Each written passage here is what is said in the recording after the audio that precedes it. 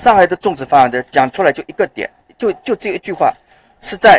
上海市卫计委把上海市所有的资源、多学科的团队全部在集集中在这里一起救治了。哪些多学科？我告诉你，它集中了上海最好的重症医学、最好的感染病学，我自己我自己是感染病学，最好的呼吸病学，呃，最好的心脏病学，最好的人工肺，还有呼吸治疗师，还有上海市肺科医院的一个肺栓塞的团队。只要你在上海，所有的医疗资源跟这个病有关的全来了，没有神药。我今天还是在这讲，对于这个病没有神药，唯一的神药就是集中所有的优势资源，让这些病人能够坚持下去。坚持下去，结果你今天已经看到了。更多精彩尽在中国新闻网客户端。